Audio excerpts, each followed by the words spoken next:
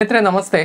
So, ಇವತ್ತಿನ ಈ ಒಂದು ವಿಡಿಯೋದಲ್ಲಿ ರಾಜ್ಯ ಹಾಗೂ ಕೇಂದ್ರ ಸರ್ಕಾರದ ಮಟ್ಟದಲ್ಲಿ ನಡೆಯುವಂತಹ ಎಲ್ಲ ಸ್ಪರ್ಧಾತ್ಮಕ ಪರೀಕ್ಷೆಗಳಿಗೆ ಉಪಯುಕ್ತವಾಗಿರುವಂತಹ ಮಾನಸಿಕ ಸಾಮರ್ಥ್ಯಕ್ಕೆ ಸಂಬಂಧಪಟ್ಟಿರುವಂತಹ ಕೆಲವೊಂದಿಷ್ಟು ಪ್ರಶ್ನೆಗಳನ್ನು, ಅಂದರೆ ಮೆಂಟಲ್ ಎಬಿಲಿಟಿಗೆ ಸಂಬಂಧಪಟ್ಟಿರುವಂತಹ ಕೆಲವೊಂದಿಷ್ಟು ಪ್ರಶ್ನೆಗಳನ್ನು ನಾನು ಡಿಸ್ಕಸ್ ಮಾಡ್ತಾ ಹೋಗ್ತೇನೆ. ಆ ಒಂದು ಪ್ರಶ್ನೆಗಳನ್ನು ನಾನು ಸಾಲ್ವ್ ಮಾಡ್ತಾ ಹೋಗ್ತೇನೆ.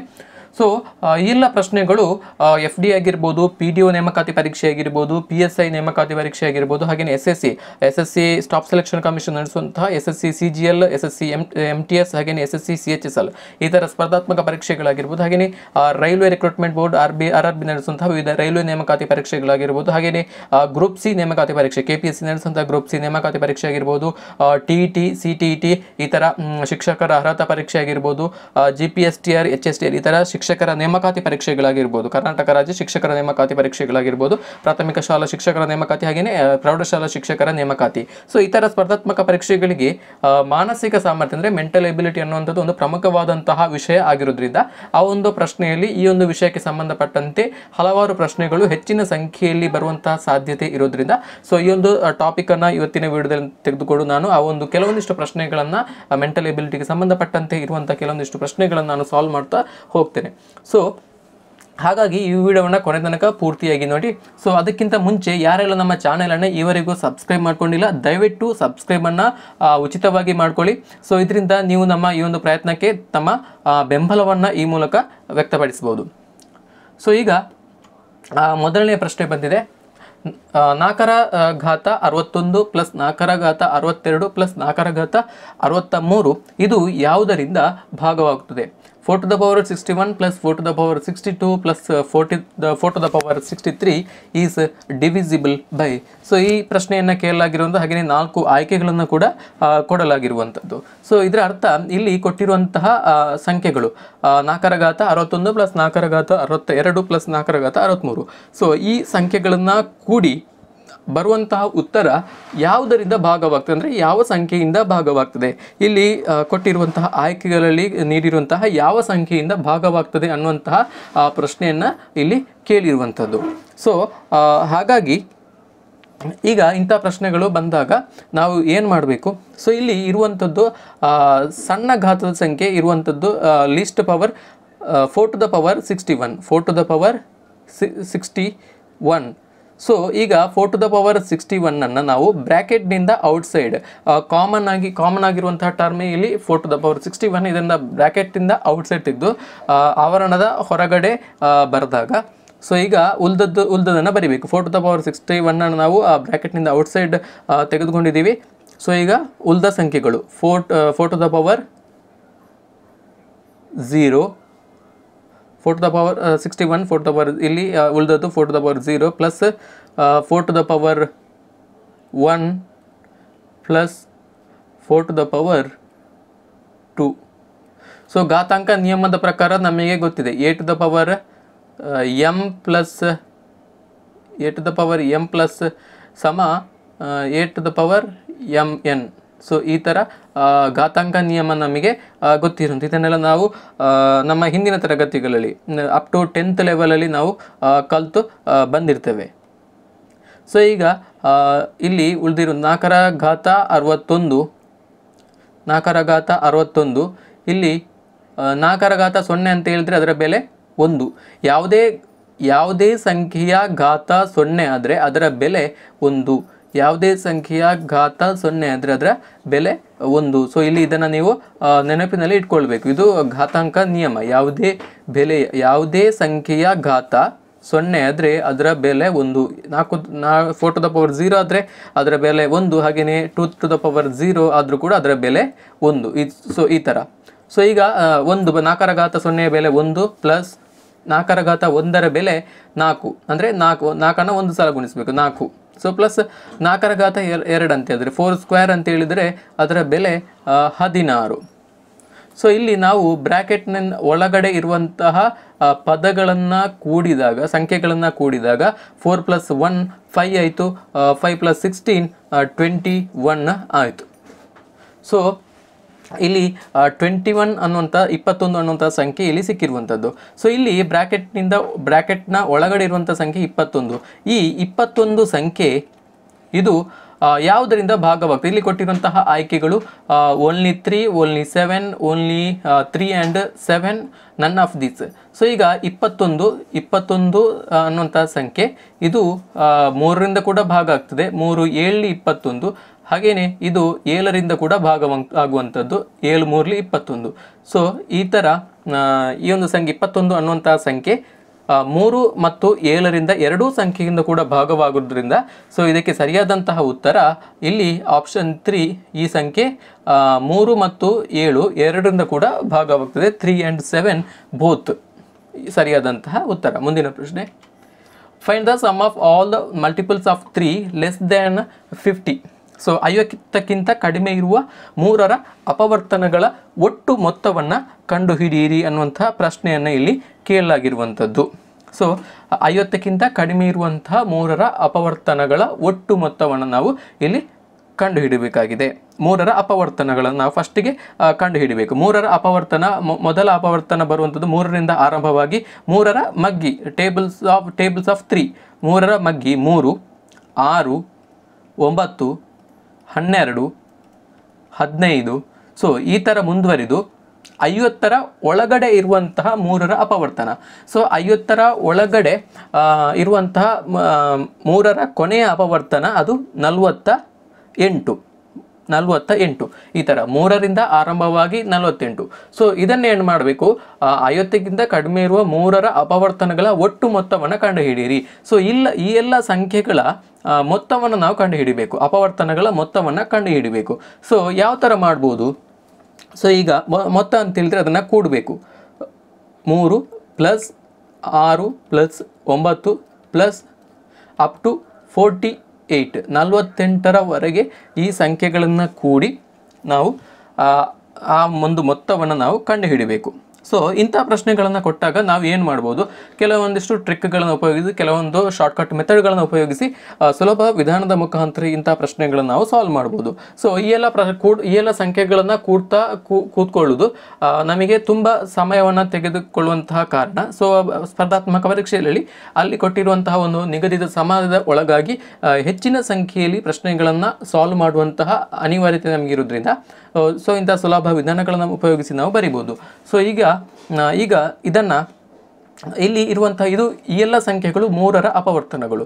ಆದ್ದರಿಂದ ಇಲ್ಲಿ ಮೂರನ್ನು ನಾವು ಬ್ರ್ಯಾಕೆಟ್ನಿಂದ ಅವು ಕಾಮನ್ ಆಗಿರುವಂಥ ಟರ್ಮ್ ಆಗಿರೋದ್ರಿಂದ ಮೂರರ ಅಪವರ್ತನ, ಮೂರ ಮಲ್ಟಿಪಲ್ಸ್ ಆಫ್ ತ್ರೀ ಆಗಿರೋದ್ರಿಂದ ಇದನ್ನು ಬ್ರ್ಯಾಕೆಟ್ನಿಂದ ಔಟ್ಸೈಡ್ ಆಗಿ ತೆಗೆದುಕೊಂಡು ಬರಿಬೋದು. ಸೊ ಇಲ್ಲಿ ಇಲ್ಲಿ ಮೂರು, ಮೂರರ ಫಸ್ಟ್ ಇರುವಂಥದ್ದು ಮೂರು.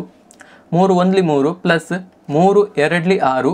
ಪ್ಲಸ್ ಮೂರು ಮೂರಲಿ ಒಂಬತ್ತು ಪ್ಲಸ್ ಸೊ ಈ ಥರ ಅಪ್ ಟು ಇಲ್ಲಿ ಮೂರು ಹದಿನಾರಲಿ ನಲವತ್ತೆಂಟು. ಸೊ ಈ ಥರ ನಾವು ಬರಿಬೇಕು. ಈ ಥರ ಬರಿಬೇಕು.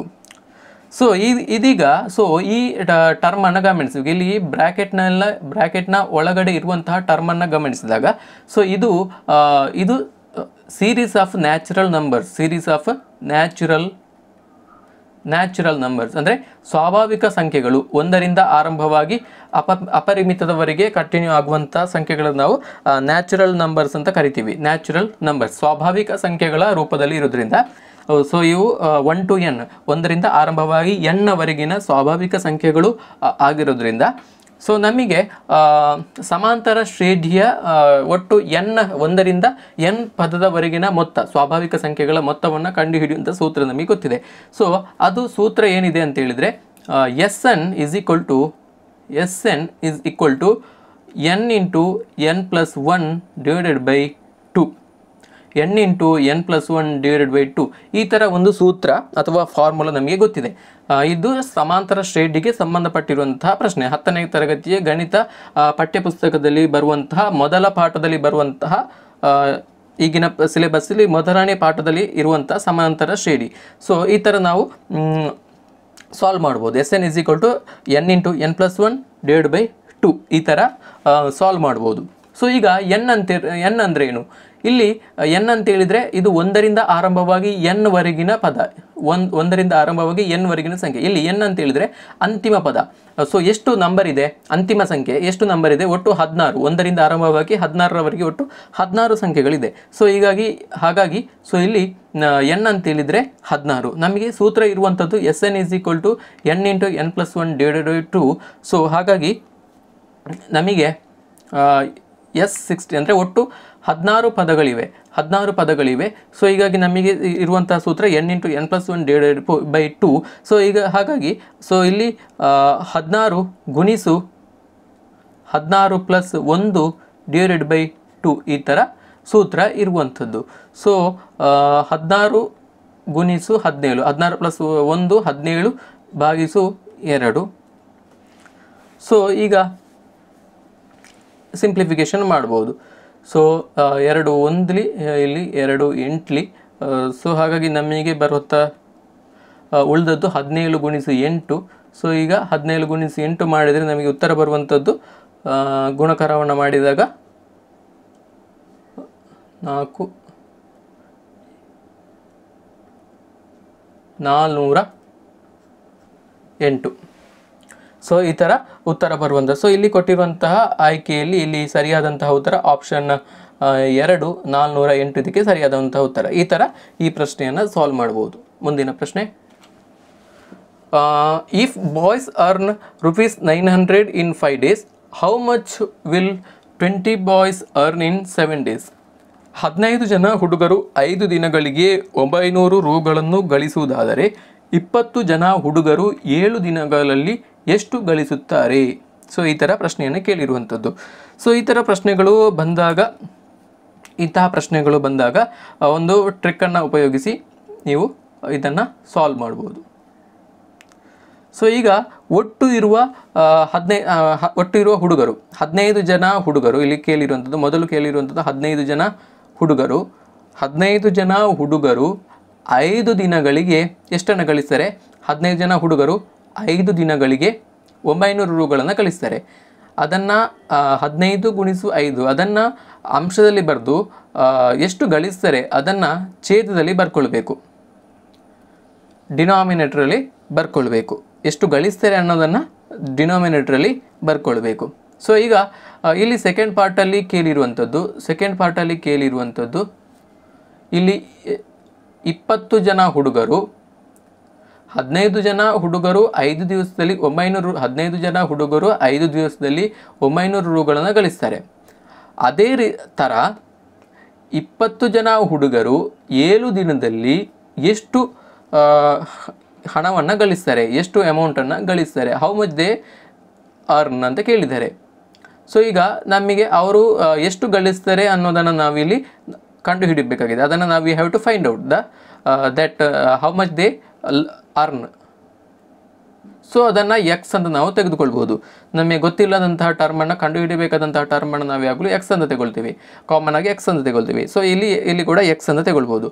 ಸೊ ಇದನ್ನು ನಾವು ಆದಷ್ಟು ಸಿಂಪ್ಲಿಫಿಕೇಷನನ್ನು ಮಾಡ್ಕೊಳ್ಬೋದು. ಸೊ ಇದು ಯಾವ ಮಗ್ಗಿಂದ ಹೋಗ್ತದೆ? ಹದಿನೈದರ ಮಗ್ಗಿಂದ ಹೋಗ್ತದೆ. ಹದಿನೈದು ಒಂದ್ಲಿ ಹದಿನೈದು ಒಂದ್ಲಿ, ಹದಿನೈದು ಅರುವತ್ತಲಿ. ಸೊ ಇದನ್ನು ಫರ್ದರ್ ಸಿಂಪ್ಲಿಫಿಕೇಶನ್ ಮಾಡ್ಕೊಳ್ಬೋದು. ಇಲ್ಲಿ ಐದರ ಮಗ್ಗಿಯಿಂದ ಸಿಂಪ್ಲಿಫಿಕೇಶನ್ ಮಾಡ್ಕೊಳ್ಬೋದು. ಸೊ ಐದು ಒಂದ್ಲಿ, ಇಲ್ಲಿ ಮೇಲೆ ಒಂದು, ಐದು ಹನ್ನೆರಳಿ ಸೊ ಈಗ ನಮಗೆ ಉಳ್ದಂಥದ್ದು ಇಲ್ಲಿ ಉಳ್ದಂಥದ್ದು ಒಂದು ಭಾಗಿಸು ಹನ್ನೆರಡು ಸಮ ಇಪ್ಪತ್ತು ಗುಣಿಸು ಏಳು ಅಂತ ಹೇಳಿದರೆ ನೂರ ನಲ್ವತ್ತಿದೆ. ಭಾಗಿಸು ಎಕ್ಸ್ ಇದೆ, ಅದೇ ಥರ ಬರ್ಕೊಳ್ಬೇಕು. ಈಗ ಎಕ್ಸ್ ಸಮ ಕ್ರಾಸ್ ಮಲ್ಟಿಪ್ಲಿಕೇಶನ್ ಎಕ್ಸ್ ಸಮ ಎಕ್ಸ್ ಸಮ ನೂರ ನಲವತ್ತು ಗುಣಿಸು ನೂರ ನಲವತ್ತು ಗುಣಿಸು ಹನ್ನೆರಡು. ನೂರ ನಲ್ವತ್ತು ಗುಣಿಸು ಹನ್ನೆರಡು. ಸೊ ಇದನ್ನು ನೀವು ಮಲ್ಟಿಪ್ಲಿಕೇಶನನ್ನು ಮಾಡಿದಾಗ, ನಾನು ಡೈರೆಕ್ಟ್ ಬರೀತಿದ್ದೇನೆ. ಇಲ್ಲಿ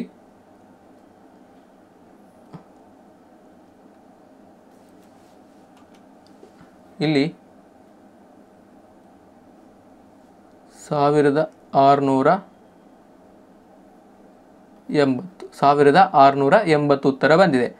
ಸೊ ಇಲ್ಲಿ ಆಯ್ಕೆ ಬಿ.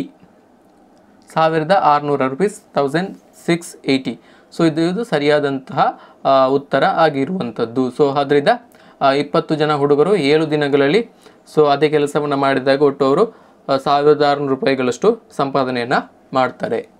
ಮುಂದಿನ ಪ್ರಶ್ನೆ.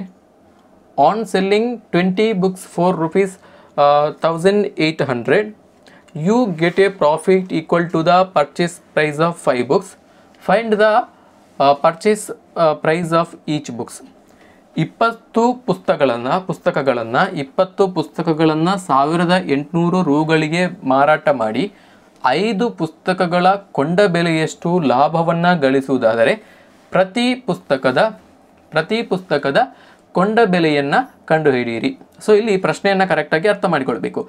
ಇಪ್ಪತ್ತು ಪುಸ್ತಕಗಳನ್ನು ಪುಸ್ತಕಗಳನ್ನು ಸಾವಿರದ ಎಂಟುನೂರು ರೂಪಾಯಿಗಳಿಗೆ ಮಾರಾಟವನ್ನು ಮಾಡಿ. ಅಂದರೆ, ಆ ಇಪ್ಪತ್ತು ಪುಸ್ತಕಗಳನ್ನು ಸಾವಿರದ ಎಂಟುನೂರು ರೂಪಾಯಿಗಳಿಗೆ ಮಾರಾಟ ಮಾಡಿ. ಅದರಿಂದ ಬರುವಂತಹ ಲಾಭ ಎಷ್ಟು ಅಂತ ಹೇಳಿದರೆ, ಐದು ಪುಸ್ತಕಗಳ ಕೊಂಡ ಬೆಲೆ. ಐದು ಪುಸ್ತಕಗಳ ಕೊಂಡ ಬೆಲೆಯಷ್ಟು ಲಾಭವನ್ನು ಅವರು ಆ ಪುಸ್ತಕ ಇಪ್ಪತ್ತು ಪುಸ್ತಕಗಳನ್ನು ಸಾವಿರದ ಎಂಟುನೂರು ರೂಪಾಯಿಗಳಿಗೆ ಮಾರಾಟ ಮಾಡಿ ಪಡಿತಾರೆ.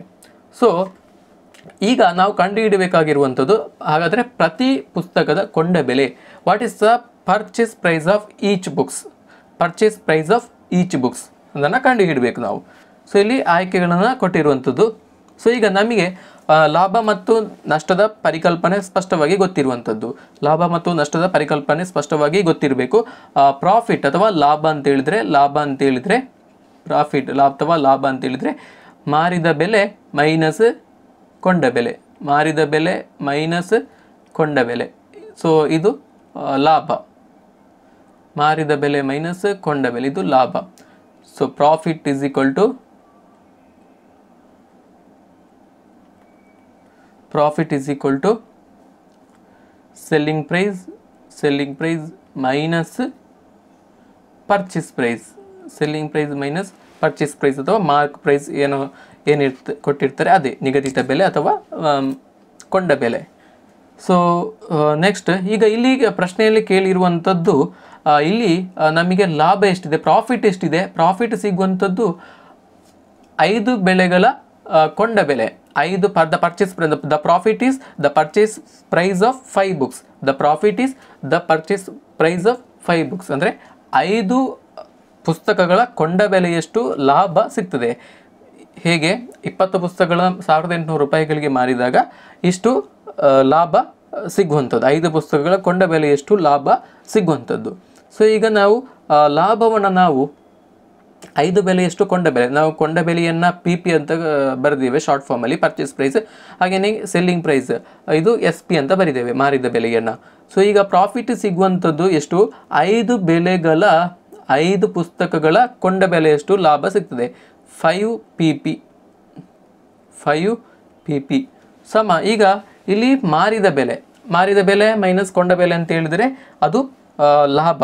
ಸೊ ಈಗ ಇಪ್ಪತ್ತು ಪುಸ್ತಕಗಳನ್ನು ಖರೀದಿಸಿ ಇಪ್ಪತ್ತು ಪುಸ್ತಕಗಳನ್ನು ಮಾರಿ, ಇಪ್ಪತ್ತು ಪುಸ್ತಕಗಳನ್ನು ಮಾರಿ, ಸಾವಿರದ ಎಂಟುನೂರು ರೂಪಾಯಿಗಳಿಗೆ ಮಾರಿ.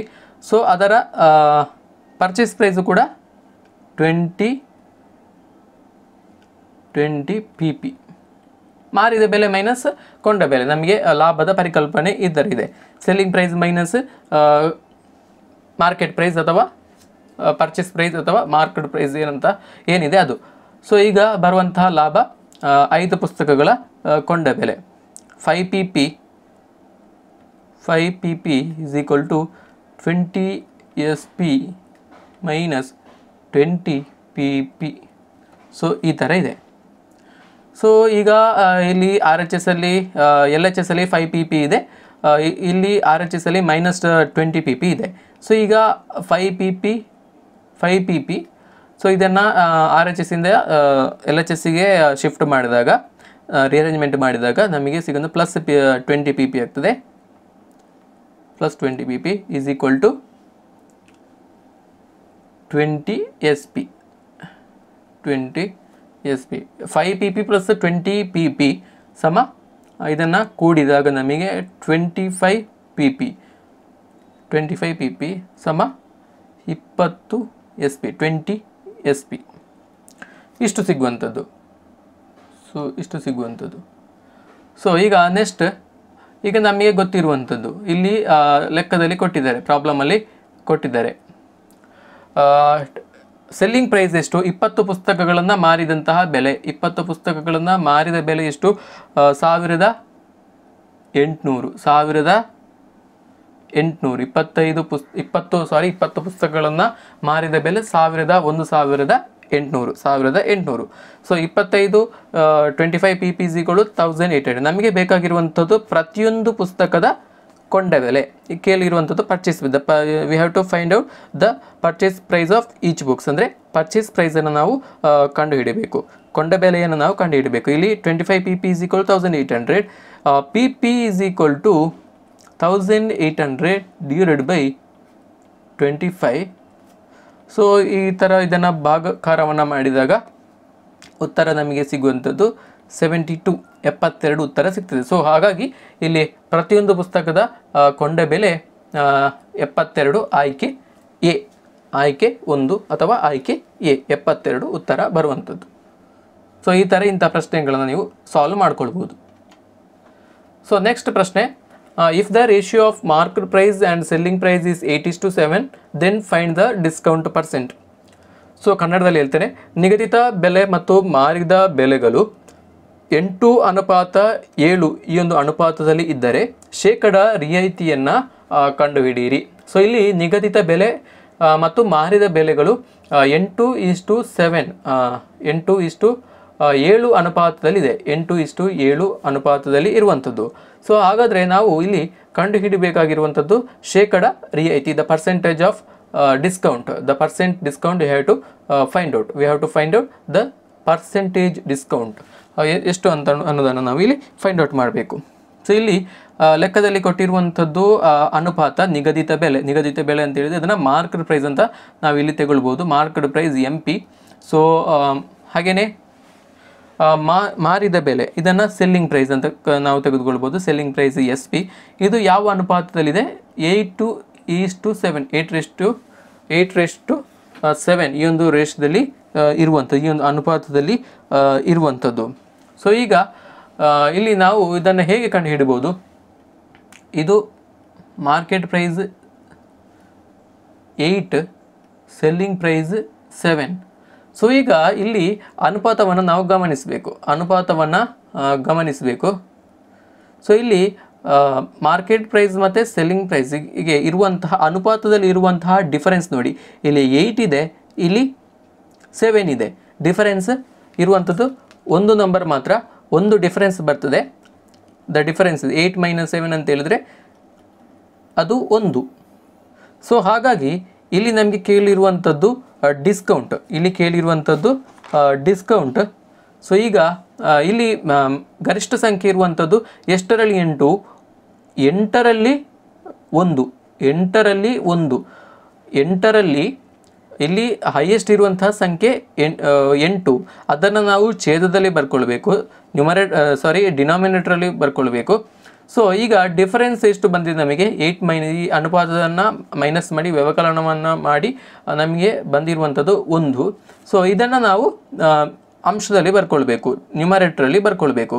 ಸೊ ಇಲ್ಲಿ ನಮಗೆ ಕೇಳಿರುವಂಥದ್ದು ಶೇಕಡ ರಿಯಾಯಿತಿ ರಿಯಾಯಿತಿ, ಶೇಕಡ ರಿಯಾಯಿತಿ ದ ಪರ್ಸೆಂಟೇಜ್ ಡಿಸ್ಕೌಂಟ್ ಸೊ ಹಾಗಾಗಿ ಪರ್ಸೆಂಟೇಜ್ ಅಂತ ಹೇಳಿದ್ರೆ ನಾವು ಆಬ್ವಿಯಸ್ಲಿ ನೂರರಿಂದ ಗುಣಿಸಬೇಕು. ಎಂಟರಲ್ಲಿ ಒಂದು, ಹಾಗಾದರೆ ನೂರರಲ್ಲಿ ಎಷ್ಟು? ಎಂಟರಲ್ಲಿ ಒಂದು ಬ ರಿಯಾಯಿತಿ ಸಿಕ್ಕಿತು. ಒಂದು ಎಂಟರಲ್ಲಿ ಒಂದು ಭಾಗದಷ್ಟು ರಿಯಾಯಿತಿ ಸಿಕ್ಕಿತು. ಹಾಗಾದರೆ ನೂರರಲ್ಲಿ ಎಷ್ಟು ಅಂದರೆ ಅದು ಶೇಕಡ ರಿಯಾಯಿತಿ ಆಗುವಂಥದ್ದು. ಸೊ ಇದೀಗ ಇದನ್ನು ನಾವು ಸಿಂಪ್ಲಿಫಿಕೇಷನ್ ಮಾಡ್ಕೊಳ್ಬೋದು. ಇದು ಎಷ್ಟರ ಮಗ್ಗೆಯಲ್ಲಿ ಹೋಗ್ತದೆ? ಇದು ಎರಡರ ಮಗ್ಗೆಯಲ್ಲಿ ಹೋಗ್ತದೆ. ಸೊ ನಾಲ್ಕೆಂಟ್ಲಿ ಸಾರಿ ಎರಡು ನಾಲ್ಕಲಿ ಎಂಟು ಹಾಗೆಯೇ ಇಲ್ಲಿ ಐವತ್ತು, ಎರಡ್ಲಿ ನೂರು. ಐವತ್ತೆರಡಲಿ ನೂರು. ಹಾಗೆಯೇ ಇಲ್ಲಿ ನಾಲ್ಕಿದೆ. ಇನ್ನು ಫರ್ದರ್ ಸಿಂಪ್ಲಿಫಿಕೇಷನನ್ನು ಮಾಡ್ಕೊಳ್ಬೋದು. ಎರಡೆರಡಲಿ ನಾಲ್ಕು ಎರಡು ಇಪ್ಪತ್ತೈದಲಿ ಐವತ್ತು. ಸೊ ಈಗ ಫೈನಲ್ ಆಗಿ ಉಳಿದದಂತೂ ನಮಗೆ ಇಪ್ಪತ್ತೈದು ಭಾಗಿಸು ಎರಡು. ಸೊ ಇಪ್ಪತ್ತೈದನ್ನು ಎರಡರಿಂದ ಭಾಗಿಸಬೇಕು. ಸೊ ನಮಗೆ ಬರುವಂಥ ಉತ್ತರ ಹನ್ನೆರಡು ಪಾಯಿಂಟ್ ಐದು. ಇಷ್ಟು ರಿಯಾಯಿತಿ ಸಿಗುವಂಥದ್ದು. ಸೊ ಸೊ ಸರಿಯಾದಂಥ ಉತ್ತರ option C twelve point five percent ಮುಂದಿನ ಪ್ರಶ್ನೆ. The product of two co prime number is one one nineteen one hundred and nineteen find the L C M ಎರಡು ಅವಿಭಾಜ್ಯ ಸಂಖ್ಯೆಗಳ ಗುಣಲಬ್ಧ ನೂರು ಸಾರಿ ನೂರ ಹತ್ತೊಂಬತ್ತು ಆದರೆ ಅವುಗಳ ಲಾಸ ಆವನ್ನು ಕಂಡುಹಿಡಿಯಿರಿ. ಎರಡು ಅವಿಭಾಜ್ಯ ಸಂಖ್ಯೆಗಳಿವೆ. ಅವುಗಳ ಗುಣಲಬ್ಧ ನೂರ ಹತ್ತೊಂಬತ್ತು ಆದರೆ ಅವುಗಳ ಲಾಸವನ್ನು ಕಂಡುಹಿಡಿಯಿರಿ ಅನ್ನುವಂಥ ಪ್ರಶ್ನೆಯನ್ನು ಇಲ್ಲಿ ಕೇಳಿರುವಂಥದ್ದು. ಸೊ ಈಗ ಎರಡು ಅವಿಭಾಜ್ಯ ಸಂಖ್ಯೆಗಳು ಇಲ್ಲಿ ಎ ಮತ್ತು ಬಿ ಆಗಿರಲಿ. ಎರಡು ಅವಿಭಾಜ್ಯ ಸಂಖ್ಯೆಗಳು ಎ ಮತ್ತು ಬಿ ಆಗಿರಲಿ. ಸೊ ನಮಗೆ ಎರಡು ಅವಿಭಾಜ್ಯ ಸಂಖ್ಯೆಗಳ ಗುಣಲಬ್ಧ. ಸೊ ಇಲ್ಲಿ ನೋಡಿ, ಇಲ್ಲಿ ಕೊಟ್ಟಿರುವಂಥ ಪ್ರಶ್ನೆಯಲ್ಲಿ ಉತ್ತರದ ಕ್ಲೂ ಇದೆ, ಉತ್ತರದ ಸುಲುಹು ಇದೆ ಉತ್ತರವೇ ಇದೆ ಅಂತ ಹೇಳ್ಬೋದು. ಇಲ್ಲಿ ಕೊಟ್ಟಿರುವಂತಹ ಪ್ರಶ್ನೆಯಲ್ಲೇ ಉತ್ತರ ಇದೆ. ಸೊ ಇಂಥ ಪ್ರಶ್ನೆಯನ್ನು ಸಿಂಪಲ್ ಆಗಿ ನಾವು ಕೆಲವೊಂದು ಬೇಸಿಕ್ ನಮಗೆ ಗೊತ್ತಿರಬೇಕು. ಲಾಸ ಅಂದ್ರೇನು, ಅವಿಭಾಜ್ಯ ಸಂಖ್ಯೆಗಳಂದ್ರೇನು ಲಾಸ ಅಂದ್ರೇನು, ಮಾಸ ಅಂದ್ರೇನು. H S F least common ಲಾಸ ಅಂದರೆ ಲಿಸ್ಟ್ ಕಾಮನ್ ಮಲ್ಟಿಪಲ್ ಇಂಗ್ಲೀಷ್ನಲ್ಲಿ ಕರಿತೀವಿ. ಲಿಸ್ಟ್ ಕಾಮನ್ ಮಲ್ಟಿಪಲ್ ಹಾಗೆಯೇ H C F highest common factor so ಈ ಥರ ನಮಗೆ, ಇಂಥ ಪರಿಕಲ್ಪನೆಗಳು ನಮಗೆ ಗೊತ್ತಿರಬೇಕು. ಅವಿಭಾಜ್ಯ ಸಂಖ್ಯೆಗಳಂದ್ರೇನು ಲಾಸ ಅಂದ್ರೇನು, ಲಾಸವನ್ನು ಹೇಗೆ ಕಂಡುಹಿಡಿಬೋದು, ಮಾಸವನ್ನು ಹೇಗೆ ಕಂಡುಹಿಡಿಯೋದು ನಾವು, ಇದೆಲ್ಲ ನಾವು ಗೊತ್ತಿರಬೇಕು. ಸೊ ಇಲ್ಲಿ ಎರಡು ಸಂಖ್ಯೆಗಳು, ಎರಡು ಸಂಖ್ಯೆ ಸಂಖ್ಯೆಗಳು ಎ ಮತ್ತು ಬಿ. ಅವುಗಳು ಅವಿಭಾಜ್ಯ ಸಂಖ್ಯೆಗಳು. ಸೊ ಎರಡು ಅವಿಭಾಜ್ಯ ಸಂಖ್ಯೆಗಳ ಲಾಸ ಅಂತೇಳಿ ಮ, ಲಾಸ ಅಂತ ಹೇಳಿದ್ರೆ ಅವುಗಳ ಗುಣಲಬ್ಧವೇ ಆಗಿರ್ತದೆ. ಎರಡು ಅವಿಭಾಜ್ಯ ಸಂಖ್ಯೆಗಳ ಗುಣಲಬ್ಧವೇ ಅವುಗಳ ಲಾಸ ಆಗಿರ್ತದೆ. ಎರಡು ಅವಿಭಾಜ್ಯ ಸಂಖ್ಯೆಗಳ ಗುಣಲಬ್ಧ ಅವುಗಳ ಲಾಸ್ ಆಗಿರ್ತದೆ. The product of two co prime number itself is the L C M the product of two co prime numbers itself is the L C M ಅಂದರೆ ಎರಡು ಅವಿಭಾಜ್ಯ ಸಂಖ್ಯೆಗಳ ಗುಣಲಬ್ಧವೇ ಅವುಗಳ ಲಾಸ ಆ- ಆಗಿರ್ತದೆ. ಲಘುತ್ತಮ ಸಾಮಾನ್ಯ ಅಪವರ್ತ್ಯ ಆಗಿರ್ತದೆ. ಸೊ ಹಾಗಾಗಿ ಇಲ್ಲಿ ಎರಡು ಸಂಖ್ಯೆಗಳು ಎ ಬಿ ಇದೆ. ಸೊ ಇಲ್ಲಿ ಗುಣಲಬ್ಧ ಕೊಟ್ಟಿರುವಂಥದ್ದು ಸೊ ಆಬ್ವಿಯಸ್ಲಿ ನಮಗೆ ಎಲ್ ಸಿ ಎಂ ಕೂಡ ಬರುವಂಥದ್ದು ನೂರ ಹತ್ತೊಂಬತ್ತು. ನೂರ ಹತ್ತೊಂಬತ್ತು. ಎರಡು ಅವಿಭಾಜ್ಯ ಸಂಖ್ಯೆಗಳ ಗುಣಲಬ್ಧವೇ ಅವುಗಳ ಲಾಸ. ಗುಣಲಬ್ಧವೇ ಅವುಗಳ ಲಾಸ. ಸೊ ಅದರಿಂದ ಇಲ್ಲಿ ಸರಿಯಾದಂತಹ ಉತ್ತರ ಆಪ್ಷನ್ ಬಿ ನೂರ ಹತ್ತೊಂಬತ್ತು. ಸೊ ಇಲ್ಲಿ ಇನ್ನೊಂದು ಎಕ್ಸಾಂಪಲನ್ನು ನಾವು ತಗೊಳ್ಳದಿದ್ರೆ ಹದಿನಾರು ಮತ್ತು ಹದಿನೇಳು, ಎರಡು ಅವಿಭಾಜ್ಯ ಸಂಖ್ಯೆಗಳು ಅವಿಭಾಜ್ಯ ಸಂಖ್ಯೆಗಳು. ಸೊ ಇವುಗಳ ಲಾಸವನ್ನು ಕಂಡುಹಿಡಬೇಕಾದ್ರೆ ನಾವು ಹದಿನಾರು ಗುಣಿಸು ಹದಿನೇಳು ಮಾಡಬೇಕು. ಇಲ್ಲಿ ಬಂದಂತಹ ಉತ್ತರವೇ ಅವುಗಳ ಲಾಸಹ.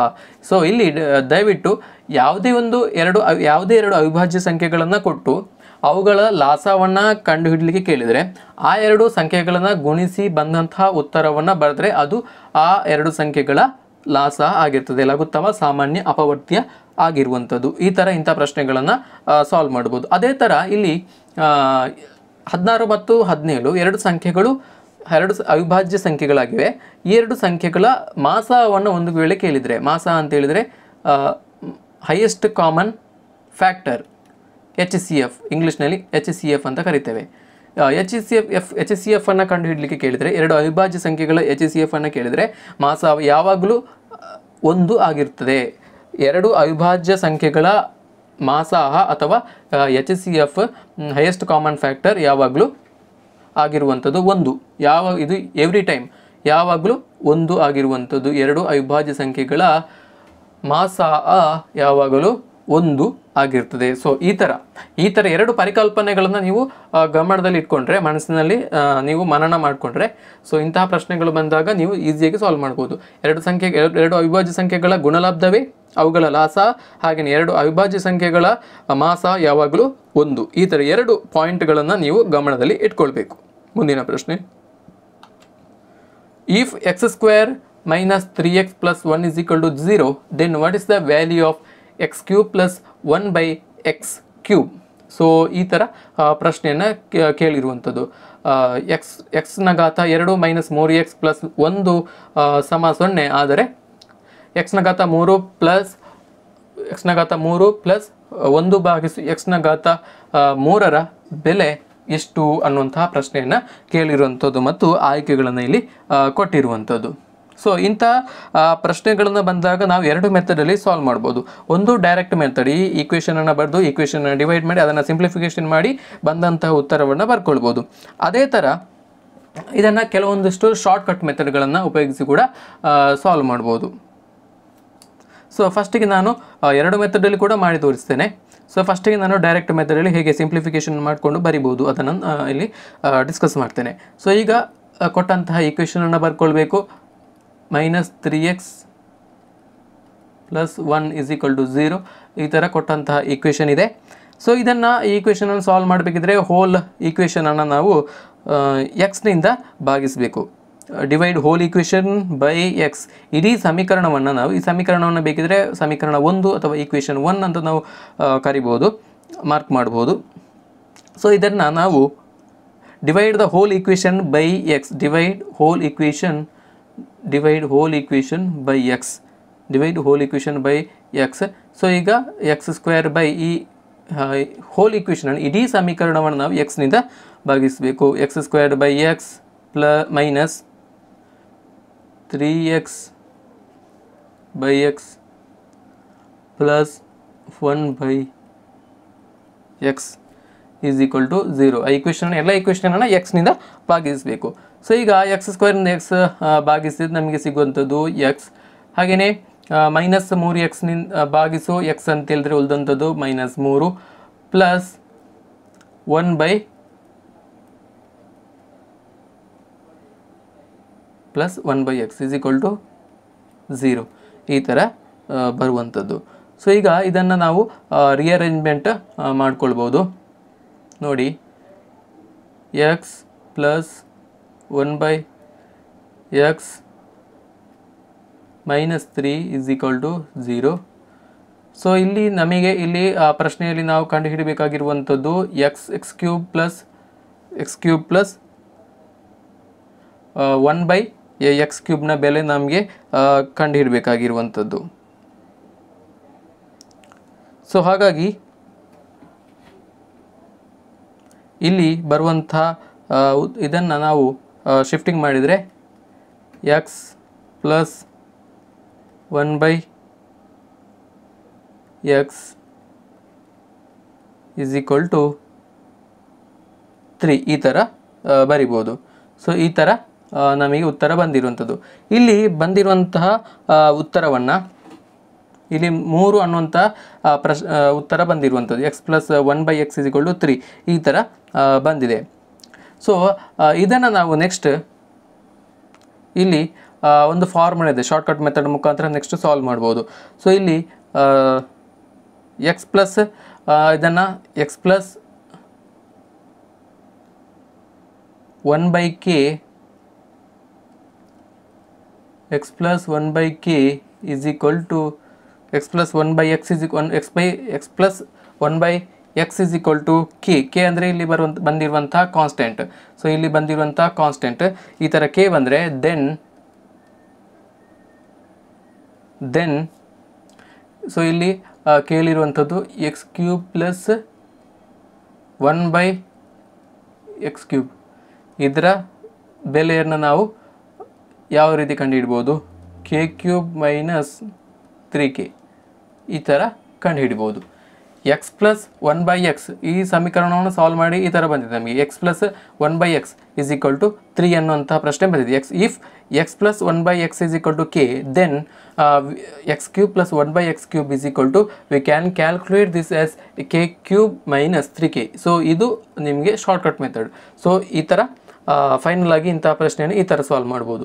ಸೊ ಫಸ್ಟ್ ಈಕ್ವೇಷನನ್ನು ಡಿವೈಡ್ ಮಾಡಿ ಆನಂತರ x plus one by x is equal to k ಈ ಫಾರ್ಮ್ಗೆ ಕನ್ವರ್ಟ್ ಮಾಡಿ. ನೆಕ್ಸ್ಟ್ ಈ ಒಂದು ಏನಿದೆ ಶಾರ್ಟ್ಕಟ್ ಟ್ರಿಕ್ ಅಥವಾ ಟ್ರಿಕ್ ಏನಿದೆ ಸೊ ಅದರ ಮುಖಾಂತರ ಅದರ ಮುಖಾಂತರ ನೀವು ಸಾಲ್ವ್ ಮಾಡ್ಬೋದು. ಕೆ ಕ್ಯೂಬ್ ಕೆ ಕ್ಯೂಬ್ ಅಂತ ಹೇಳಿದ್ರೆ ಇಲ್ಲಿ ಬಂದಂತಹ ಕಾನ್ಸ್ಟೆಂಟ್ ತ್ರೀ ಇದೆ. ಕಾನ್ಸ್ಟೆಂಟ್ ಮೂರು ಇದೆ ಸೊ ಸ್ಥಿರ ಸಂಖ್ಯೆ ಮೂರಿದೆ ಸೊ ಹಾಗಾಗಿ ಕೆ ಕ್ಯೂಬ್ ಅಂತ ಹೇಳಿದರೆ ಮೂರು ಕ್ಯೂಬ್ ಮೂರರ ಘಾತ ಮೂರು ಮೈನಸ್ ಮೂರರ ಗುಣಿ ತ್ರೀ ಕೆ, ಮೂರು ಗುಣಿಸು ಕೆ ಕೆ ಅಂದರೆ ಮೂರು. ಸೊ ಹಾಗಾಗಿ ಮೂರು ಮೂರರ ಘಾತ ಮೂರು ಅಂತ ಹೇಳಿದರೆ ಮೂರು ಮೂರಲಿ ಒಂಬತ್ತು ಒಂಬತ್ತು ಮೂರಲಿ ಇಪ್ಪತ್ತೇಳು. ಮೈನಸ್ ಮೂರು ಗುಣಿಸು ಮೂರು ಅಂತ ಹೇಳಿದರೆ ಒಂಬತ್ತು.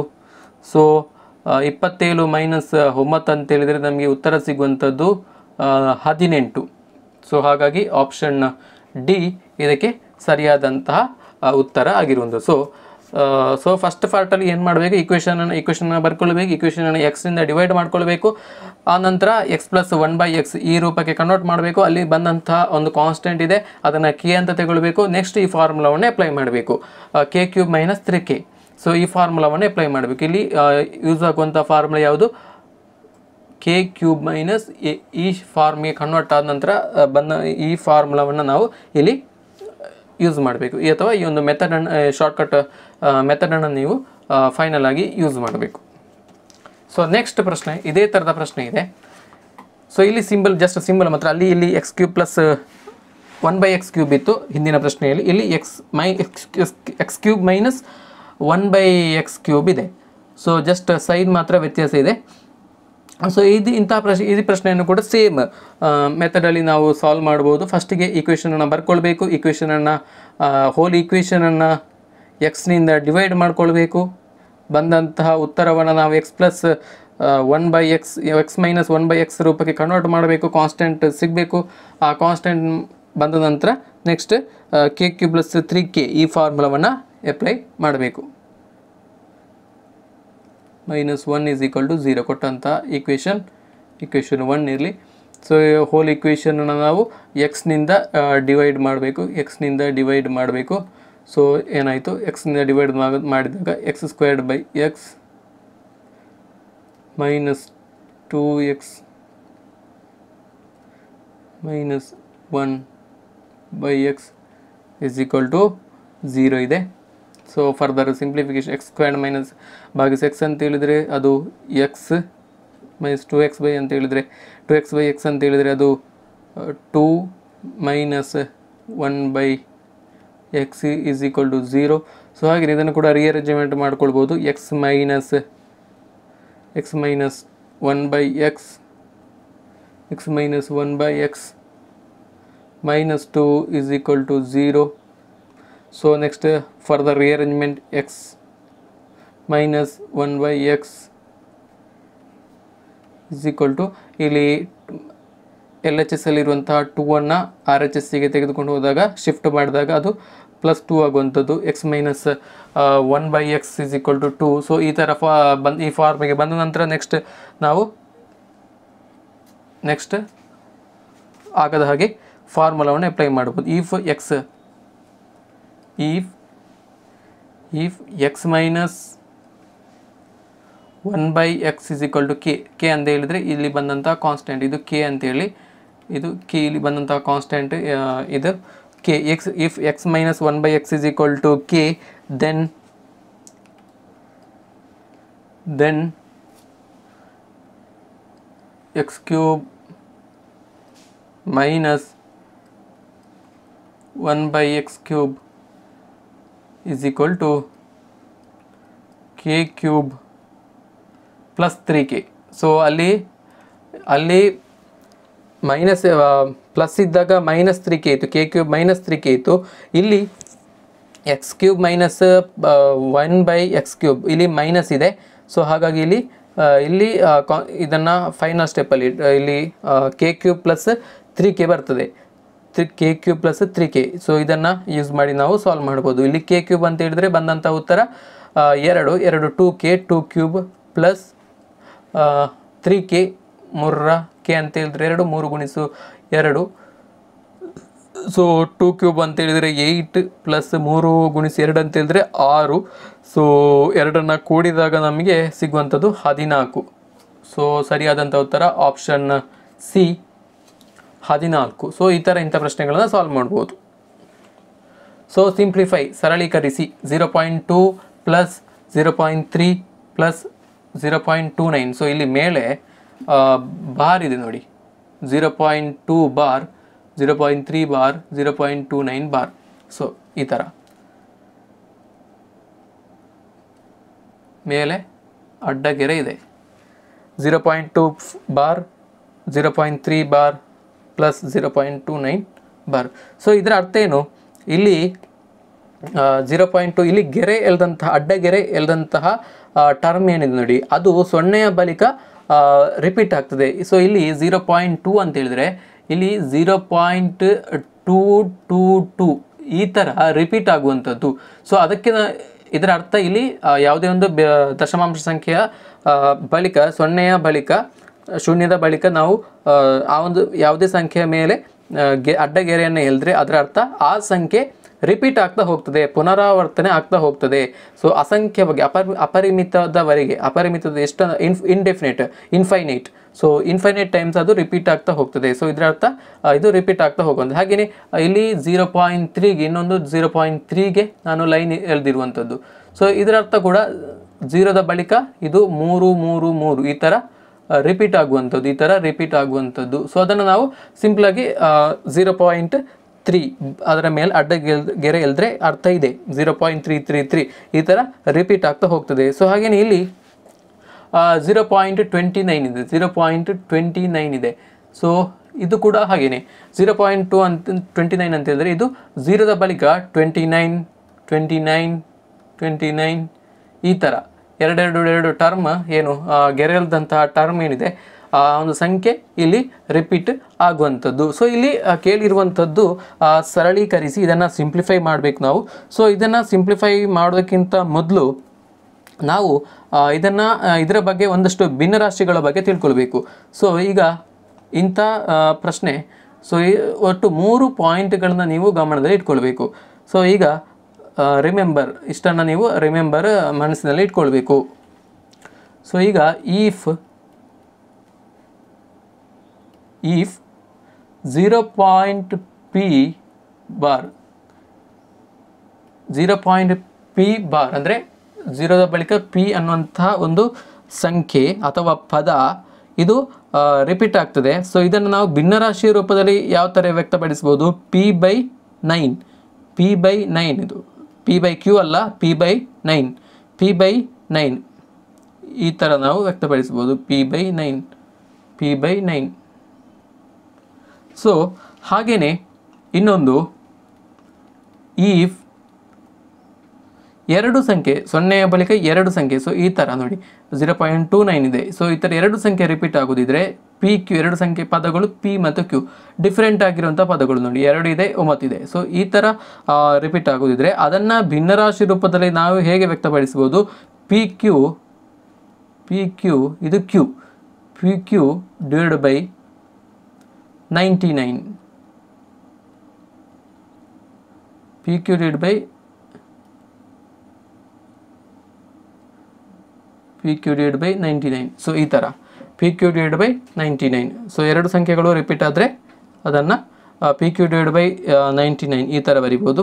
ಹಾಗೆಯೇ ಒಂದು ವೇಳೆ ಮೂರು ಸಂಖ್ಯೆಗಳು ರಿಪೀಟ್ ಆದರೆ ಝೀರೋದ ಬಳಿಕ, ಶೂನ್ಯದ ಬಳಿಕ ಪಿ ಪಿ ಒಂದು ಮೂರು ಮೂರು digital number p q r ಇಲ್ಲಿ ಕ್ಯೂ ಆರ್ ಎರಡು ಸಂಖ್ಯೆಗಳು ರಿಪೀಟ್ ಆದರೆ, ಎರಡು ಸಂಖ್ಯೆಗಳು ರಿಪೀಟ್ ಆದರೆ, ಅದನ್ನು ನಾವು ಯಾವ ಥರ ಬರಿಬೋದು?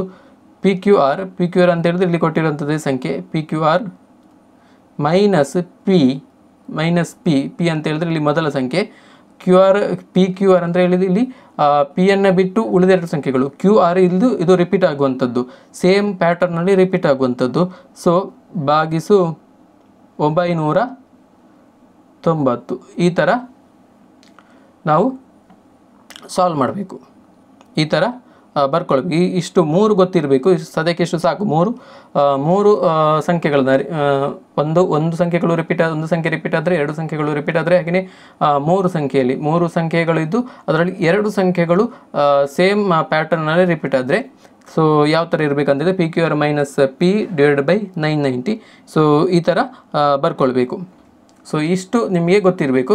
ಸೊ ನೆಕ್ಸ್ಟ್ ಇಂಥ ಪ್ರಶ್ನೆಗಳನ್ನು ನೀವು ಯಾವುದೇ ಪ್ರಶ್ನೆ ಬಂದರೂ ಕೂಡ ಸಾಲ್ವ್ ಮಾಡೋದು ಸೊ ಈಗ ಈ ಇಲ್ಲಿ ಕೊಟ್ಟಿರುವಂಥ ಪ್ರಶ್ನೆ, ಇಲ್ಲಿ ಕೊಟ್ಟಿರುವಂಥ ಪ್ರಶ್ನೆಯನ್ನು ನಾವು ಯಾವ ಥರ ಸಾಲ್ವ್ ಮಾಡ್ಬೋದು? ಸೊ ಇಲ್ಲಿ ಕೊಟ್ಟಿರುವಂಥದ್ದು zero point two bar plus zero point three bar plus zero point two nine bar so ಇದನ್ನು ಸಿಂಪ್ಲಿಫೈ ಮಾಡಿ ನಾವು ಬರ್ಕೊಳ್ಬೇಕು. ಎಷ್ಟು ಬಂದಂಥ ಉತ್ತರ, ಎಷ್ಟು ಅನ್ನೋದನ್ನು ನಾವಿಲ್ಲಿ ಕಂಡುಹಿಡಬೇಕು. ಸೊ ಹಾಗಾಗಿ ಈಗ ಝೀರೋ ಪಾಯಿಂಟ್ ಟು ನಮಗೆ ಗೊತ್ತಿದೆ. ಝೀರೋ ಪಾಯಿಂಟ್ ಟು ಇದು ಝೀರೋ ಪಾಯಿಂಟ್ ಪಿ ಬಾರ್ ರೂಪದಲ್ಲಿದೆ. ಸೊ ಹಾಗಾಗಿ ಇದನ್ನು ನಾವು ಪಿ ಬೈ ಕ್ಯೂ ರೂಪದಲ್ಲಿ ವ್ಯಕ್ತಪಡಿಸ್ಬೋದು ಅಂದರೆ ಎರಡು ಭಾಗಿಸು ಒಂಬತ್ತು. ಎರಡು ಭಾಗಿಸು ಒಂಬತ್ತು. ಇಲ್ಲಿ ಪಿ ಅಂತ ಹೇಳಿದರೆ ಒಂಬತ್ತು, ಇಲ್ಲಿ ಸೊ ಇಲ್ಲಿ ಒಂಬತ್ತರ ಭಾಗಿಸಿ ಎರಡು ಈ ಥರ ವ್ಯಕ್ತಪಡಿಸಿದ್ದೇವೆ.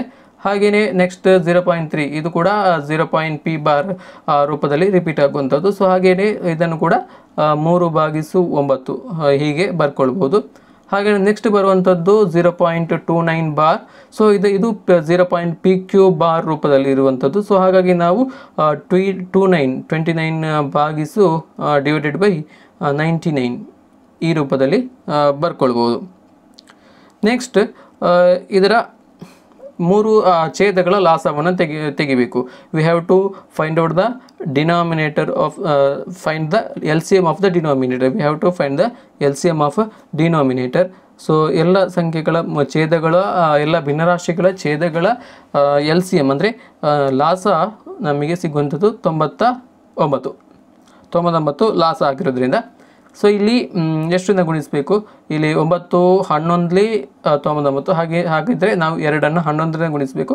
ಸೊ ಇದೆಲ್ಲ ಸಿಂಪಲ್ ಬೇಸಿಕ್ ಮೂಲಭೂತ ಪರಿಕಲ್ಪನೆಗಳು. ಭಿನ್ನರಾಶಿಗಳ ಸಂಕಲನ ಭಿನ್ನರಾಶಿಗಳ ಸಂಕಲನ ವ್ಯಾಕರಣದಲ್ಲಿ ಬರೆಯುವಂಥ ಬರುವಂಥ ಒಂದು ಮೂಲಭೂತ ಪರಿಕಲ್ಪನೆಗಳು ಇದೆಲ್ಲ. ಸೊ ಇದನ್ನು ಇಪ್ಪತ್ತೆರಡಾಯಿತು ಇಪ್ಪತ್ತೆರಡಾಯಿತು ಹಾಗೆಯೇ ಇದು ಮೂವತ್ತ್ಮೂರಾಯಿತು ಪ್ಲಸ್ ಇಲ್ಲಿ ನೈಂಟಿ ನೈನ್ ಸೊ ಅದನ್ನೇ ಟ್ವೆಂಟಿ ನೈನ್ ಅದನ್ನೇ ಬರ್ಕೊಳ್ಬೇಕು. ಸೊ ನೆಕ್ಸ್ಟ್ ಇದನ್ನು ಕೂಡಬೇಕು. ಎಲ್ಲ ಸಂಖ್ಯೆಗಳನ್ನು ಕೂಡಬೇಕು. ಇಪ್ಪತ್ತೆರಡು ಇಪ್ಪತ್ತೆರಡು, ಮೂವತ್ತ್ಮೂರು ಇಪ್ಪತ್ತೊಂಬತ್ತು. ಎಲ್ಲವನ್ನು ಕೂಡಿಸ್ಬೇಕು. ಮೂವತ್ತ್ಮೂರು, ಹನ್ನೆರಡು ಹನ್ನೆರಡು ಹದಿನಾಲ್ಕು ಆಯಿತು.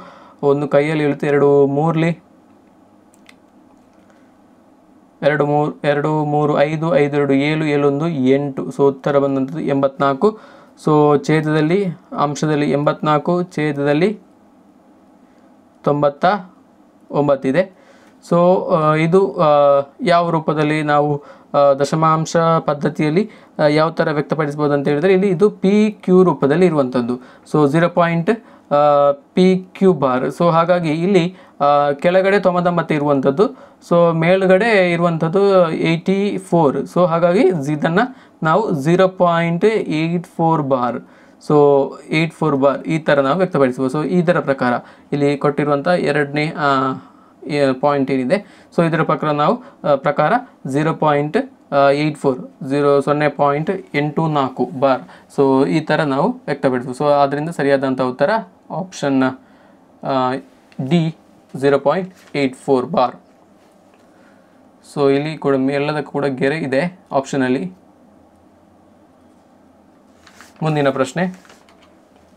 The length the breadth and the height of a cube are twelve centimetre ten centimetre and eighteen centimetre respectively how many cubes of side centimetre can be filled in it so ಇಲ್ಲಿ ಕನ್ನಡದಲ್ಲಿದೆ. ಒಂದು ಘನಾಕೃತಿಯ ಉದ್ದ, ಅಗಲ ಮತ್ತು ಎತ್ತರ ಕ್ರಮವಾಗಿ ಹನ್ನೆರಡು centimetre ಹತ್ತು ಸೆಂಟಿಮೀಟರ್ ಹಾಗೂ ಹದಿನೆಂಟು ಸೆಂಟಿಮೀಟರ್ ಇದೆ. ಇದರಲ್ಲಿ ಇದರಲ್ಲಿ ಈ ಒಂದು ಘನಾಕೃತಿಯಲ್ಲಿ ಬಾಹುವಿನ ಉದ್ದ ಆರು ಸೆಂಟಿಮೀಟರ್ ಇರುವ ಎಷ್ಟು ಘನಗಳನ್ನು ತುಂಬಿಸ್ಬೋದು? ಪ್ರಶ್ನೆಯನ್ನು ಸರಿಯಾಗಿ ಅರ್ಥ ಮಾಡಿಕೊಳ್ಬೇಕು. ಒಂದು ಘನಾಕೃತಿ ಇದೆ. ಒಂದು ಘನಾಕೃತಿ ಇದೆ. ಪ್ರಶ್ನೆಯಲ್ಲಿ ಕೊಟ್ಟಿರುವಂಥದ್ದು ಒಟ್ಟು, ಪ್ರಶ್ನೆಯಲ್ಲಿ ಎರಡು ಘನಾಕೃತಿಗಳಿದೆ.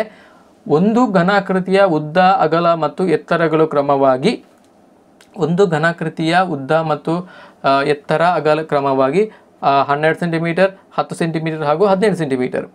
ಸೊ ಇನ್ನೊಂದು ಘನಾಕೃತಿ ಇದೆ, ಘನ ಇದೆ. ಅದರ ಬಾಹುವಿನ ಉದ್ದ, ಪ್ರತಿಯೊಂದು ಬಾಹುವಿನ ಉದ್ದ, ಅಂದರೆ ಉದ್ದ ಗುಣಿಸು, ಅಗಲ ಗುಣಿಸು, ಎತ್ತರ, ಅದು ಆರು ಸೆಂಟಿಮೀಟರ್ ಇರುವಂಥದ್ದು.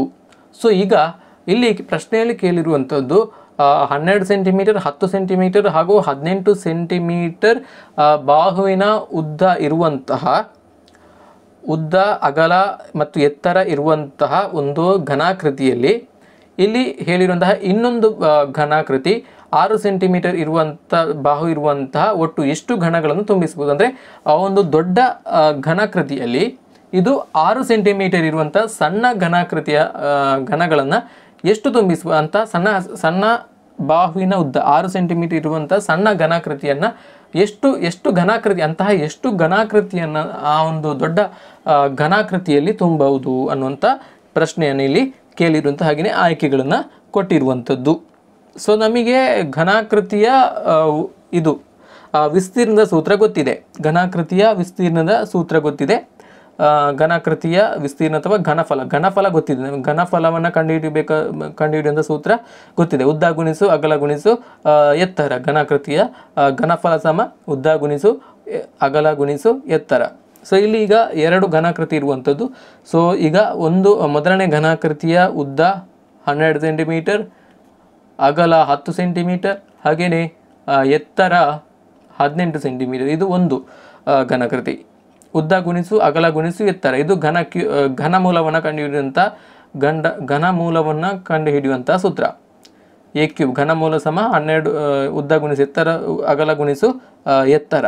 ಸೊ ಇಂತಹ ಎಷ್ಟು ಘನಗಳನ್ನು ತುಂಬಿಸ್ಬೋದು? ಈ ಒಂದು, ಇದು ದೊಡ್ಡ ಘನ, ಘನಾಕೃತಿ. ಇಂತಹ ಒಂದು ಘನಾಕೃತಿಯಲ್ಲಿ ಆರು ಸೆಂಟಿಮೀಟರ್ ಬಾಹುವಿನ ಉದ್ದ ಇರುವಂತಹ ಉದ್ದ ಗುಣಿಸುವಾಗಲ ಆರು ಸೆಂಟಿಮೀಟರ್ ಇರುವಂತಹ ಒಟ್ಟು ಎಷ್ಟು ಘನಕೃತಿಗಳನ್ನು ನಾವು ತುಂಬಿಸ್ಬೋದು ಅನ್ನುವಂಥ ಪ್ರಶ್ನೆಯನ್ನು ಕೇಳಿರುವಂಥದ್ದು. ಸೊ ಇದೀಗ ಇದು ಫಸ್ಟ್ ಒನ್ ಮೊದಲನೇ ಘನ ದೊಡ್ಡ ಘನಕೃತಿ ದೊಡ್ಡ ಘನಕೃತಿ ಅಂತ ಹೇಳಿ. ಇದು ಸೆಕೆ, ಇದು ಸೆಕೆಂಡ್ ಘನಕೃತಿ ಎರಡರದ್ದು ಕಂಡುಹಿಡಬೇಕಾಗಿರುವಂಥ ನಾವು ಯಾವುದು? ಘನಮೂಲ ಅಥವಾ ಘನಫಲ ಘನಫಲ. ಸೊ ನೆಕ್ಸ್ಟ್ ನಮಗೆ ಇಲ್ಲಿ ಕೇಳಿರುವಂಥ ಎಷ್ಟು ಸಂಖ್ಯೆಯ ಘನಗಳನ್ನು ತುಂಬಿಸ್ಬೋದು ಸೊ ಅದು ಎನ್ ಅಂತ ಇರಲಿ ಸೊ ಆರು ಸೆಂಟಿಮೀಟರ್ ಬಾವಿನ ಉದ್ದ, ಅಂದರೆ ಆರು ಸೆಂಟಿಮೀಟರ್ ಉದ್ದ, ಅಗಲ, ಆರು ಸೆಂಟಿಮೀಟರ್ ಅಗಲ, ಆರು ಸೆಂಟಿಮೀಟರ್ ಇತ್ತ, ಎತ್ತರ ಇರುವಂತಹ ಒಂದು ಘನಾಕೃತಿಯ ಘನಫಲ ಸಮ ಉದ್ದ ಗುಣಿಸು, ಅಗಲ ಗುಣಿಸು, ಎತ್ತರ. ಸೊ ಹಾಗಾಗಿ ನಾವು ಆರನ್ನು ಮೂರು ಸಲ ಗುಣಿಸಬೇಕು. ಆರು ಗುಣಿಸು ಅಥವಾ ಡೈರೆಕ್ಟಾಗಿ ಬರ್ಕೊಳ್ಬೋದು ಅಥವಾ ಗುಣಿಸಿ ಕೂಡ ಬರೀಬೋದು. ಆರು ಗುಣಿಸು ಆರು ಗುಣಿಸು ಆರು. ಸೊ ನಾನಿಲ್ಲಿ ಸಪ್ರೇಟಾಗಿ ಬರ್ ಇಂಡಿವಿಜುವಲ್ ಆಗಿ ಬರೆದಿದ್ದೀನಿ. ಸೊ ಇಲ್ಲಿ ಹನ್ನೆರಡು ಗುಣಿಸು ಹತ್ತು ಗುಣಿಸು ಹದಿನೆಂಟು ಸಮ ಎನ್ ಗುಣಿಸು ಸಿಕ್ಸ್ ಕ್ಯೂಬ್ ಸೊ ಸೊ ಈ ಥರ ಇದೆ. ಸಮಿಗೆ ಈಗ ಬೇಕಾಗಿರುವಂಥದ್ದು ಈಗ ಎನ್. ಎಷ್ಟು ಸಂಖ್ಯೆಯ ಘನಗಳನ್ನು ತುಂಬಿಸ್ಬೋದು ನಮಗೆ ಗೊತ್ತಿ ಬೇಕಾಗಿರುವಂಥ ಎಷ್ಟು ತುಂಬಿಸ್ಬೋದು ಎನ್ ಬೇಕಾಗಿರೋದು. Number of cubes number of how many cubes of of side six metre six can be filled in it. So ಹಾಗಾಗಿ ಏನು ನಮಗೆ ಬೇಕಾಗಿರೋದನ್ನ ಸೊ ಇದನ್ನು ಈಕ್ವೇಷನನ್ನು ಸಿಂಪ್ಲಿಫೈ ಮಾಡಬೇಕಾಗಿದ್ರೆ ಆ, ಹನ್ನೆರಡು ಗುಣಿಸು ಹತ್ತು ಗುಣಿಸು ಹದಿನೆಂಟು ಸೊ ಈಗ ಆರು ಕ್ಯೂಬ್ ಅಂತ ಹೇಳ್ತಾ ಅದನ್ನು ಬಿಡಿಸಿ ಬರೆಯುವ. ಆರು ಗುಣಿಸು ಆರು ಗುಣಿಸು ಆರು. ಸೊ ಇಲ್ಲಿ ಸಿಂಪ್ಲಿಫಿಕೇಶನ್ ಮಾಡ್ಬೋದು. ಆರು ಒಂದ್ಲಿ ಆರು ಎರಡ್ಲಿ ಸಿಕ್ಸ್ ಟೂ ಝಾರ್ ಸೊ ನೆಕ್ಸ್ಟ್ ಫರ್ದರ್ ಇಲ್ಲಿ ಮಾಡ್ಕೊಳ್ಬೋದು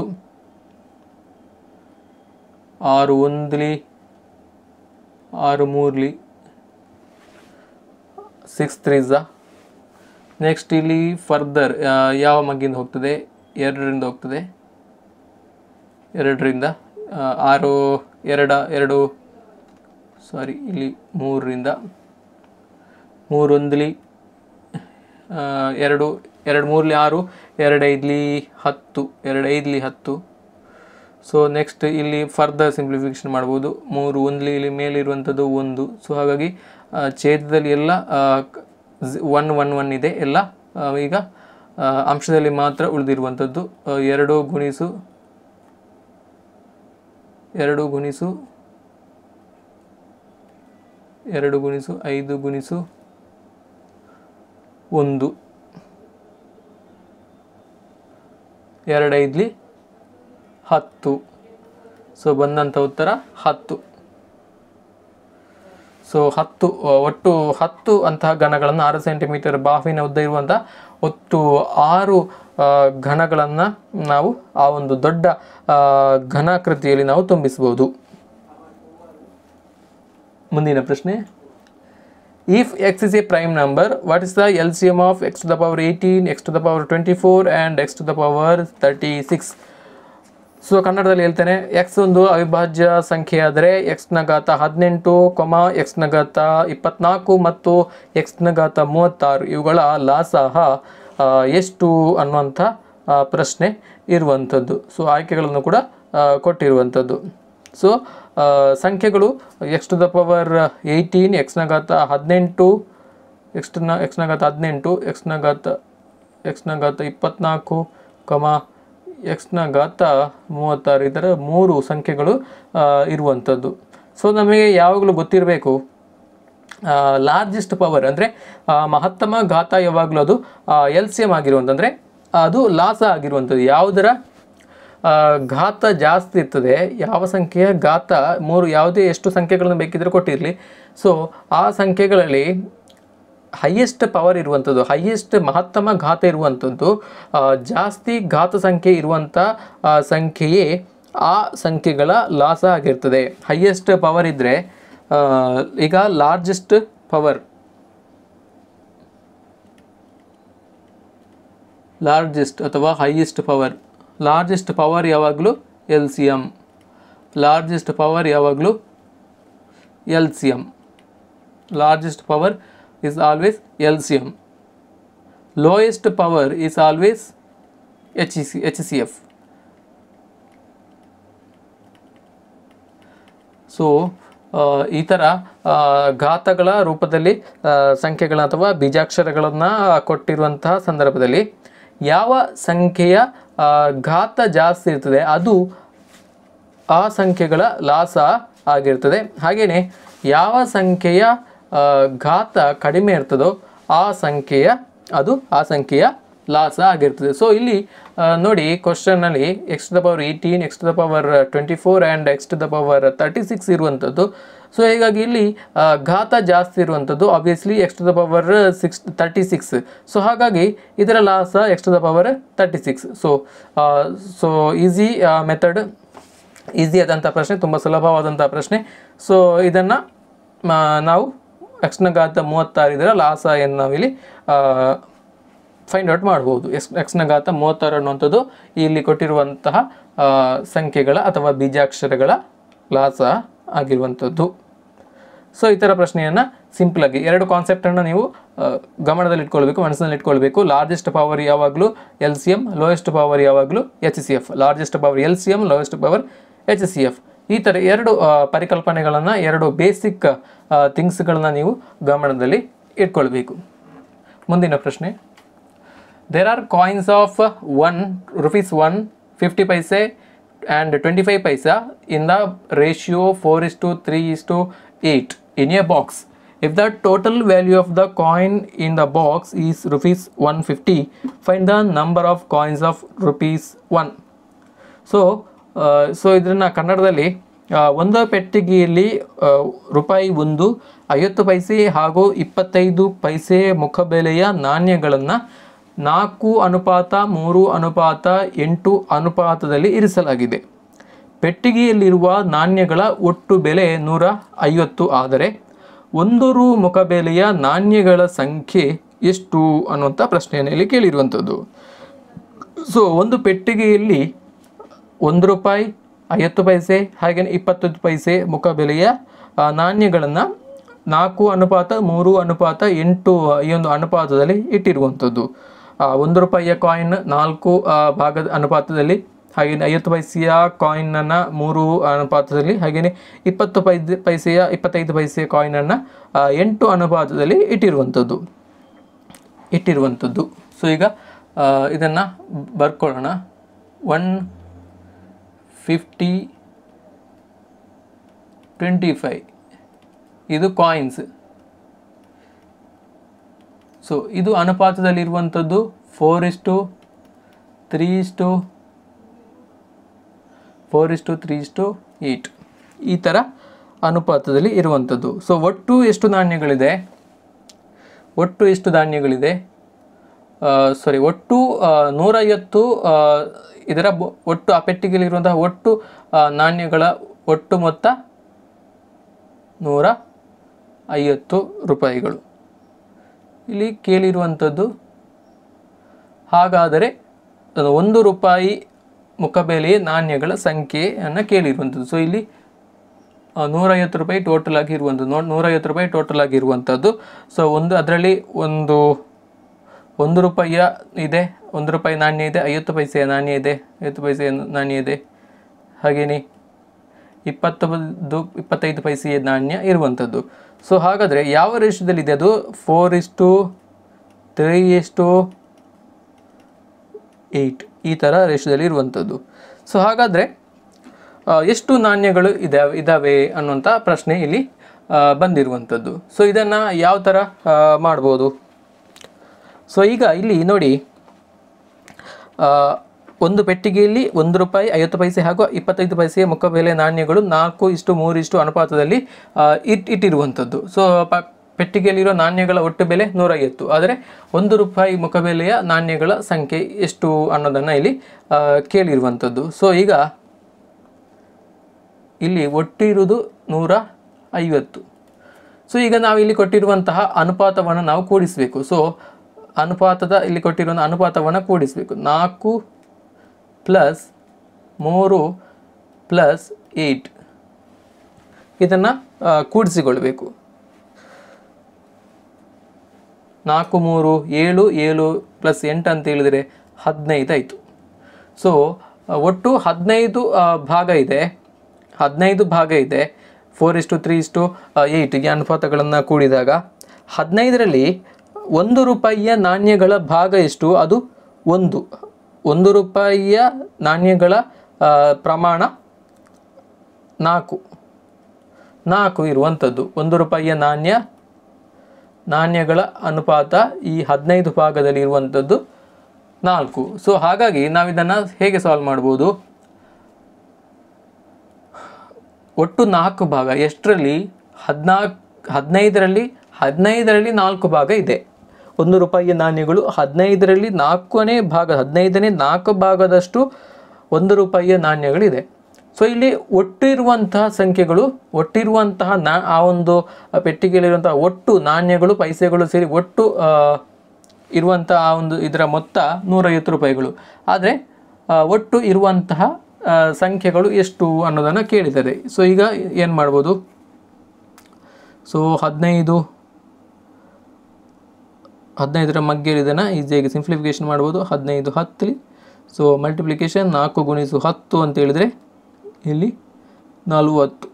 ಸೊ ಬಂದಂಥ ಉತ್ತರ ನಲವತ್ತು ಆಪ್ಷನ್ ಸಿ ಸೊ ಹಾಗಾಗಿ ಇಲ್ಲಿ ಬಂದಂತಹ ಉತ್ತರ ನಲವತ್ತು. ಒಟ್ಟು ನಲವತ್ತು ನಾಣ್ಯಗಳಿವೆ, ಒಂದು ರೂಪಾಯಿಗೆ, ಒಂದು ರೂಪಾಯಿ ಮುಖಬೆಲೆ ಒಟ್ಟು ನಲವತ್ತು ನಾಣ್ಯಗಳು ಆ ಒಂದು ಪೆಟ್ಟಿಗೆಯಲ್ಲಿದೆ. ಸೊ ಹಾಗಾಗಿ ಆ ಒಂದು ಇದರ ಮುಖ, ನಾಣ್ಯಗಳ ಸಂಖ್ಯೆ ನಲವತ್ತು, ಹಾಗೆಯೇ ಮುಖ ನಾಣ್ಯಗಳ ಮೊತ್ತ ಕೂಡ ನಲವತ್ತು. ಒಂದು ರೂಪಾಯಿ ನಾಣ್ಯ ಆಗಿರೋದ್ರಿಂದ ಒಂದು ಗುಣಿಸಿ ನಲವತ್ತು ಅಂತ ಹೇಳಿದ್ರೆ ನಲವತ್ತು. ಸೊ ಒಟ್ಟು ನಲವತ್ತು ನಾಣ್ಯಗಳು ಆ ಒಂದು ಪೆಟ್ಟಿಗೆಯಲ್ಲಿ ಇರುವಂಥದ್ದು. ಸೊ ಅದೇ ಥರ ಒಂದು ವೇಳೆ ನಿಮಗೆ ಅದರಲ್ಲಿ ಇರುವಂಥ ಐವತ್ತು ಪೈಸೆಯ ಎಷ್ಟು ಕಾಯಿನ್ಗಳಿದ್ದಾವೆ ಅನ್ನೋದನ್ನು ನೋಡಿದ್ರೆ, ಅಥವಾ ಎಷ್ಟು ಮೊತ್ತ ಇದೆ ಅನ್ನೋದನ್ನು ನೋಡಿದ್ರೆ, ಇಲ್ಲಿ ಸೇಮ್ ಸೊ ಇಲ್ಲಿ ಮೂರು.